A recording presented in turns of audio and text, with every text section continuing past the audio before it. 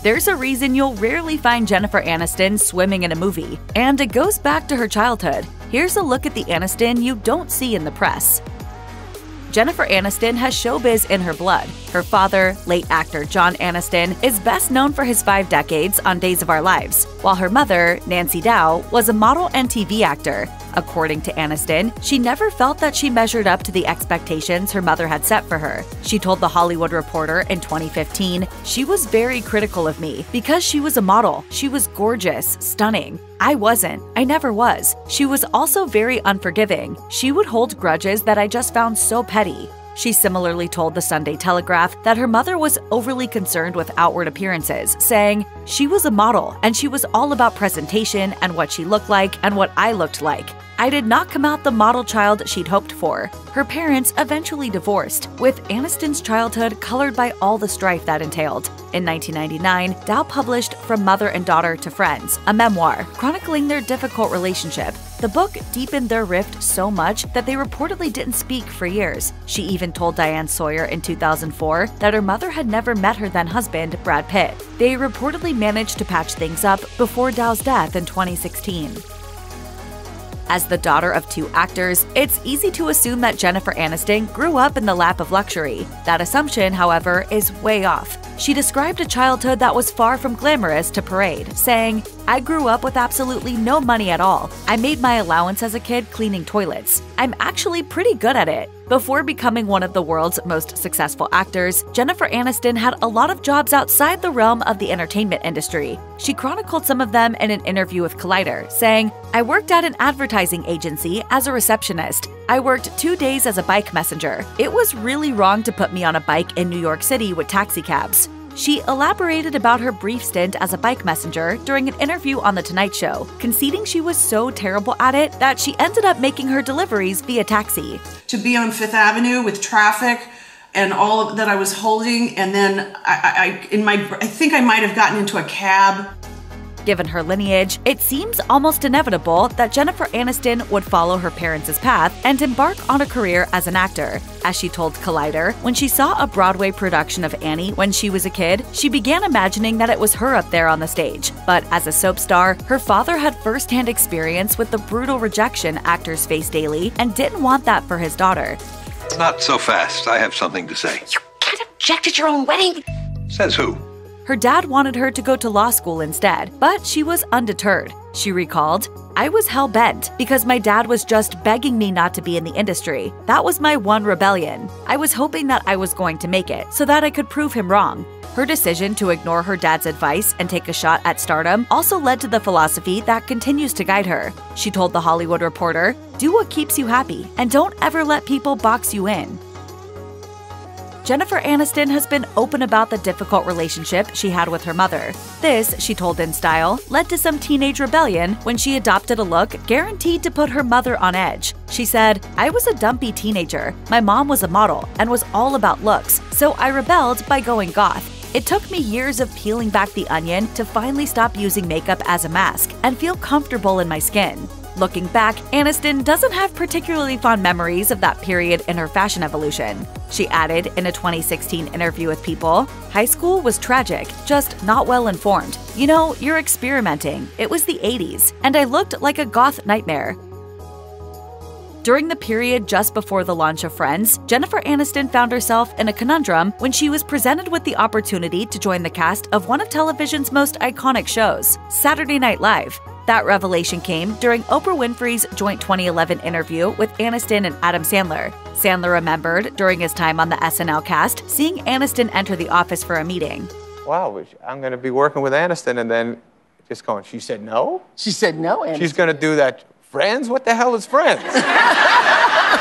In a 2019 appearance on The Howard Stern Show, Aniston shared her reasoning for taking a pass on an established hit to roll the dice on an untested sitcom. She recalled that she lectured producer Lorne Michaels on how she felt female cast members were being given short shrift compared to their male counterparts.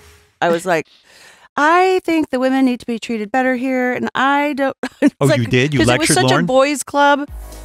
Becoming a member of the Friends cast would not only change her life, but it would also make Jennifer Aniston and her co stars among the highest paid actors in television history. But before each member of the cast earned a whopping $1 million per episode, Aniston's salary was considerably smaller, reportedly just $22,500 for an episode. When her first Friends paycheck arrived, Aniston decided to treat herself to a used Mercedes she'd had her eye on. As she recalled, she'd often pass by the car, parked in the same spot on an LA street while she drove in her clunker. Thanks to that paycheck, she was able to plunk down the $13,000 asking price and became the proud owner of a luxury vehicle, at least for a little while. And then I drove it and then drove it again and it never drove again. Two drives? It was a lemon. Not only did the meteoric success of Friends make Jennifer Aniston a star, but the show also did the same for her hair. The do she sported on the show became so popular, it actually had a name, The Rachel, after her sitcom character, with countless women during the 1990s instructing their stylist to duplicate it on their own locks. As it turned out, the only woman in the world who wasn't enamored of that hairstyle was Aniston herself. As she told Allure, the cut came from Chris McMillan, who worked with her hair on Friends and continues to be her hairstylist. I love Chris, and he's the bane of my existence at the same time because he started that damn Rachel, which was not my best look. How do I say this? I think it was the ugliest haircut I've ever seen. And that hairdo lasted about a total, I think, of seven months. Right. And it has has had legs of 15 years.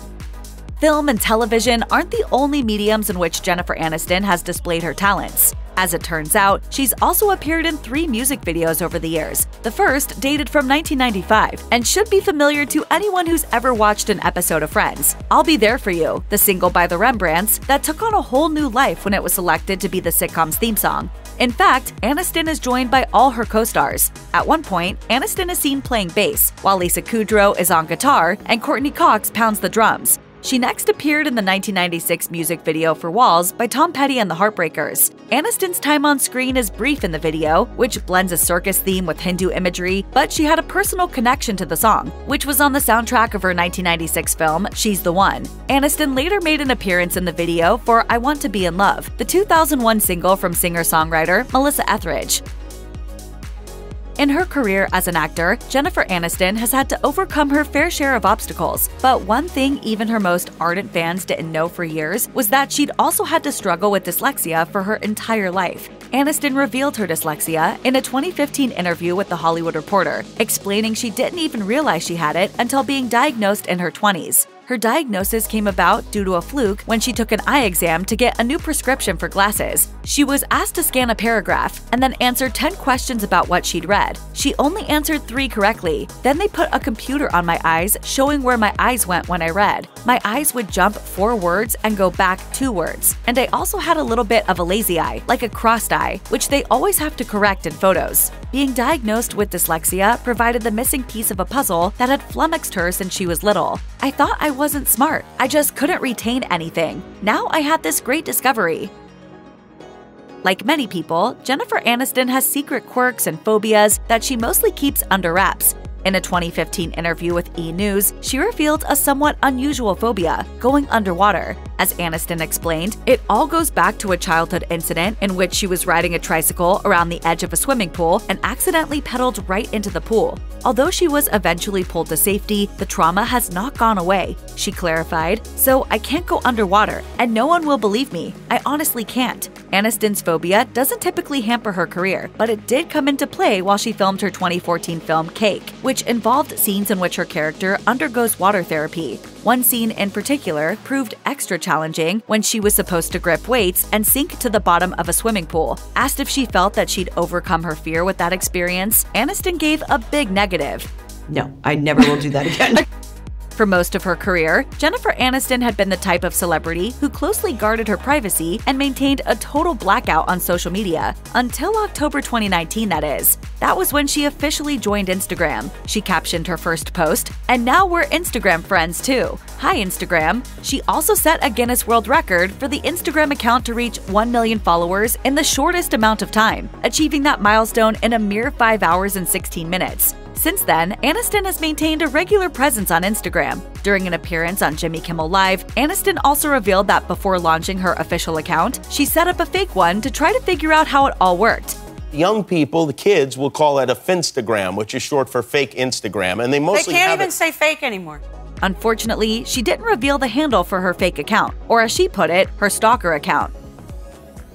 When Jennifer Aniston made her long awaited post Friends return to television, it wasn't on a traditional network, but on the Apple TV Plus streaming service in The Morning Show. The series was loosely inspired by Matt Lauer's shocking fall from grace after numerous women accused him of sexual misconduct. Chief among the show's themes, Aniston told Variety, was shining the spotlight on inappropriate behavior in show business that was once seen as acceptable but no longer. Of the series' characters and storylines, she said, all fictional, but also kind of highlighting aspects of the archetype of a charming narcissist, of a generation of men that didn't think that was bad behavior. However, she's also weighed in on other real life cancellations over allegations far less severe than Lauer's, something that Aniston feels should be factored into the conversation. In a 2023 interview with the Wall Street Journal, Aniston said, I'm so over cancel culture. I probably just got canceled by saying that. I just don't understand what it means. Is there no redemption? I don't know. I don't put everybody in the Harvey Weinstein basket.